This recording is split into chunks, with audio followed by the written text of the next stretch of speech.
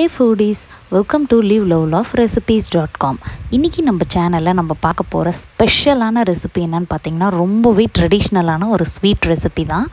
எல்லாருக்குமே ரொம்ப நல்லது. என்னன்னு பார்த்தீங்கன்னா உளுந்தங்களி. இது ரொம்ப ஈஸியாக நம்ம வீட்டிலே செஞ்சிடலாம். குழந்தைங்களுக்கும் இது ஸ்வீட்டாக இருக்கிறதுனால ரொம்ப பிடிக்கும். ரொம்ப ஹெல்த்தியான ரெசிபியும் கூட. வாங்க இது எப்படி செய்யலான்றதை பார்க்கலாம்.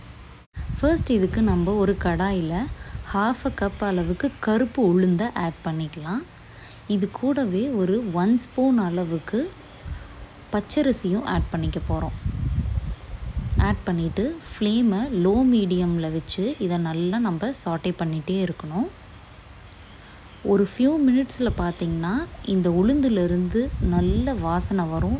அந்த அரோமா வந்து பார்த்திங்கன்னா ரொம்ப நல்லாயிருக்கும் அந்த ஸ்டேஜில் ஃப்ளேமை சுவிட்ச் ஆஃப் பண்ணிவிட்டு இதை நம்ம ஆற வச்சிட வேண்டியதுதான்.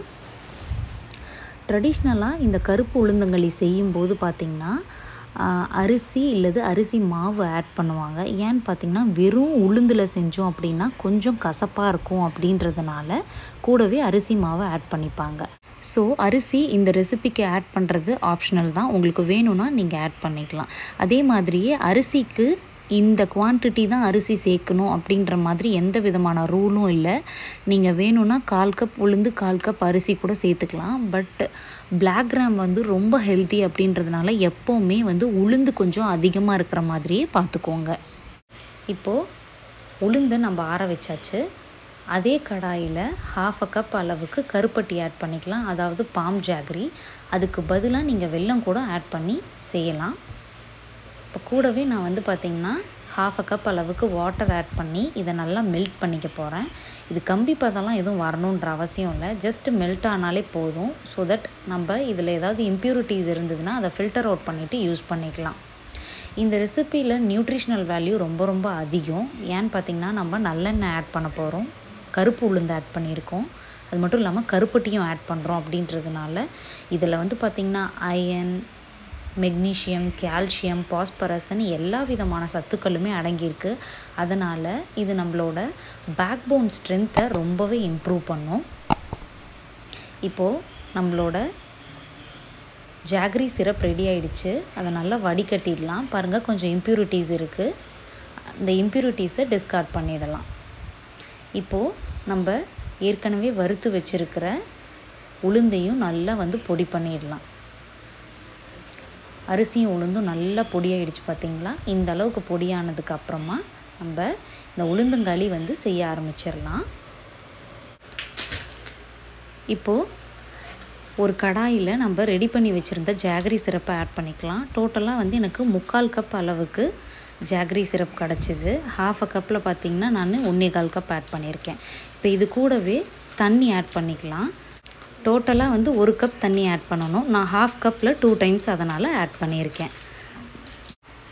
இப்போது இது கூடவே நம்ம அரைச்சி வச்சுருந்த அரிசி உளுந்து மாவு இருக்கு இல்லையா? அதை ஆட் பண்ணிக்க போகிறோம் இது எதுவுமே நான் ஸ்டவ்வில் செய்யலை. எல்லாமே கீழே வச்சு தான் செய்கிறேன் அரிசியும் உளுந்தையும் ஆட் பண்ணிவிட்டு லம்ப்ஸ் எதுவுமே இல்லாத அளவுக்கு நல்லா கலந்து விட்டுருங்க.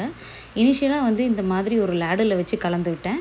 அதுக்கப்புறமா வந்து எந்த விதமான லம்ஸுமே இருக்கக்கூடாது அப்படின்றதுக்காக ஒரு விஸ்கை வச்சு நல்லா வந்து கலந்து விட்டுக்கிட்டோம் அப்படின்னா எந்த விதமான கட்டிகளுமே இருக்காது.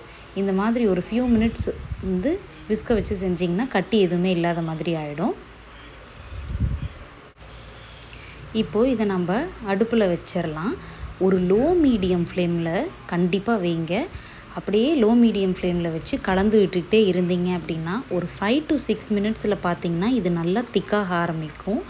எப்போவுமே இந்த உளுந்தங்களி செய்யும்போது உளுந்தங்களி தானாக வந்து அப்படியே கரையிட்டோம் அப்படின்னு மட்டும் விட்டுறாதீங்க.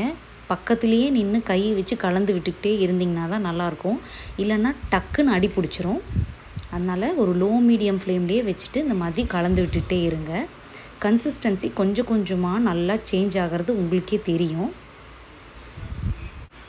இப்போ பார்த்தீங்க அப்படின்னா முன்னாடியை விட கன்சிஸ்டன்சி இன்னும் கொஞ்சம் திக்காகிடுச்சு ஸோ ஒரு எயிட் டு நைன் மினிட்ஸில் பார்த்தீங்க அப்படின்னா இந்த அளவுக்கு வந்து நம்மளுக்கு திக்கரான கன்சிஸ்டன்சிக்கு வந்துடும் ஸோ ஒரு லோ மீடியம் ஃப்ளேம்லேயே வச்சு கலந்து விட்டுட்டே இருக்க வேண்டியதான் இந்த ரெசிபியை பொறுத்த வரைக்கும் equal quantity of palm jaggery and black gram add பண்ணால் தான் நம்மளுக்கு அந்த டேஸ்ட் நல்லாயிருக்கும். இல்லைனா பிளாக் கிராமில் ஏற்கனவே ஒரு ஸ்லைட்டான பிட்டர்னஸ் இருக்கும்.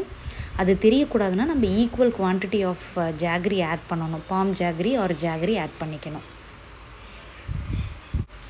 இப்போ பார்த்தீங்க அப்படின்னா முன்னாடியை விட கன்சிஸ்டன்சி நல்லா திக்காகிடுச்சு பார்த்தீங்களா இதை நல்லா வந்து பரப்பி விட்டு இந்த மாதிரி குக் பண்ணிகிட்டே இருக்கணும். அப்போ தான் வந்து உளுந்துலேருந்து வர ராஸ்மெல் எல்லாமே போகும். அதே மாதிரி உளுந்து நல்லா வெந்து வரும். இந்த மாதிரி குக் பண்ணிகிட்டே இருங்க. நடுவில் வந்து பார்த்திங்கன்னா ஒரு ஒன் ஒன் டேபிள் ஸ்பூன்ஸ் அளவுக்கு மேக்ஸிமம் ஒரு two to three tablespoons அளவுக்கு நீங்கள் நல்லெண்ணெய் யூஸ் பண்ணுற மாதிரி இருக்கும். ஸோ அப்பப்போ வந்து நல்லெண்ணெய் வந்து ஆட் பண்ணிக்கோங்க. ஒரு ஒரு டேபிள் ஸ்பூன் அளவுக்கு ஆட் பண்ணிக்கோங்க. இப்போ நான் பாருங்கள் செகண்ட் டைம் இதை ஆட் பண்ணுறேன் இந்த மாதிரி அப்பப்போ ஒரு மேக்ஸிமம் த்ரீ டேபிள் ஸ்பூன்ஸ் அளவுக்கு நீங்கள் நல்லெண்ணெய் ஆட் பண்ணாலே போதும். பேனில் ஒட்டாமல் இது அழகாக வந்துடும் சுருண்டு. இப்போ பார்த்தீங்க அப்படின்னா நம்மளோட அல்வா வந்து சைட்ஸ்லலாம் ஒட்டாமல் நல்லா செப்பரேட் ஆகி வர்றது தெரியும். இந்த மாதிரி பேனில் ஒட்டாமல் வர வர்றம்போது இந்த மாதிரி இன்னும் ஒரு ஃபைவ் மினிட்ஸ் குக் பண்ணலாம். ஏன்னா வந்து உளுந்துலேருந்து வர ராஸ்மெல் போகணும் இல்லையா? அதனால் வந்து லோ மீடியம் ஃப்ளேம்லேயே வச்சுட்டு இன்னும் ஒரு எக்ஸ்ட்ரா ஒரு ஃபைவ் மினிட்ஸ் குக் பண்ணணும். இதோட கன்சிஸ்டன்சி எப்படி செக் பண்ணணும் அப்படின்னா கையை நல்லா நினச்சிக்கோங்க. நினச்சிட்டு நம்ம ரெடி பண்ணி வச்சுருந்த இந்த ஹல்வாலேருந்து கொஞ்சமாக ஒரு போர்ஷனை எடுத்து நீங்கள் உருட்டி பார்த்தீங்க. அப்படின்னா நல்லா வந்து ஒட்டாமல் அழகாக வந்து உருண்டை பிடிக்க வரணும். அந்த மாதிரி வந்ததுன்னா நம்மளோட கன்சிஸ்டன்சி கரெக்டாக ஆகிடுச்சுன்னு அர்த்தம். நம்மளோட அல்வா வந்து நல்லா வெந்து வந்துருச்சுன்னு அர்த்தம். அதுக்கப்புறமா நீங்கள் ஃப்ளேமை சுவிட்ச் ஆஃப் பண்ணிவிட்டு அப்படியே சர்வ் பண்ணிட வேண்டிதான் இதை வந்து அப்படியேவும் சர்வ் பண்ணலாம். நான் வந்து சின்ன சின்ன லட்டூஸாக பிடிச்சி சர்வ் பண்ணிட்டேன்.